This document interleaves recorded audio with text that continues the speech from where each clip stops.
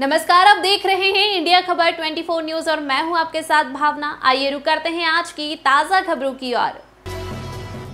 Schedule के समस्त आदिवासी बहुजन पिछड़ा वर्ग एवं अल्पसंख्यक संगठन के सदस्यों ने राष्ट्रपति के नाम कलेक्टर को ज्ञापन सौंपा। ज्ञापन के माध्यम से अवगत कराया गया कि भारत में लगभग 18 करोड़ आदिवासी निवास करते हैं, जो भारत की प्रकृति, संपदा जैसे जल जंगल ज़मीन की रक्षा करते हैं, ताकि भारत में निवासरत सभी नागरिकों को हवा, पानी मुफ़्त मिल सके और भारतीय लोगों का जीवन खुशहाल बन सके। परंतु आए दिन खबरें मिलती रहती है कि आदिवासियों पर अन्याय एवं अत्याचार दिनों दिन बढ़ रहे हैं।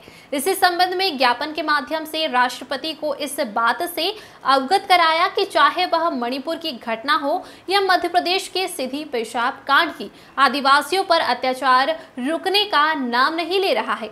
आए दिन कहीं ना कहीं से खबरें सुनने को मिलती है। इन्हीं सब बातों को लेकर राष्ट्रपति के नाम कलेक्टर को ज्ञापन सौंपा और भारी संख्या में कलेक्ट्रेट परिसर में आदिवासी समुदाय के लोगों ने इकट्ठे होकर जय भीम जय भीम के नारे लगाकर ज्ञापन सौंपा।